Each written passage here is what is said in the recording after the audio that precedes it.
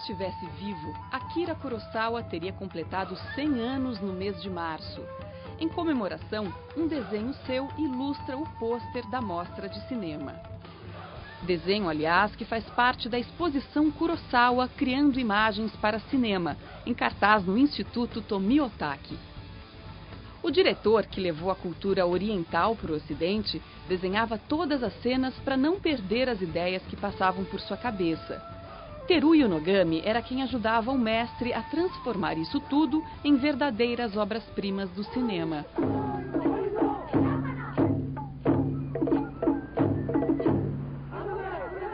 É,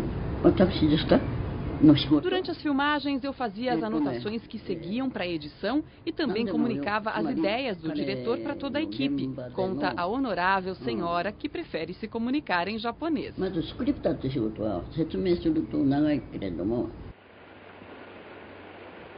Durante 50 anos e 19 longas, Teruyo esteve nos sets ao lado de Kurosawa.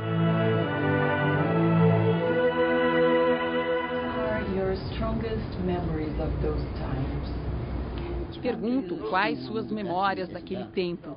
E ela responde: É muito difícil apontar uma ou outra lembrança. Kurosawa tinha um olhar diferente.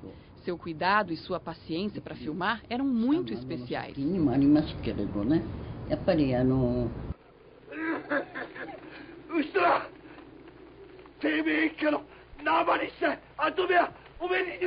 O diretor sabia esperar pela luz perfeita, pelo cenário ideal. Daí o nome do livro de Teruyo, A Espera do Tempo.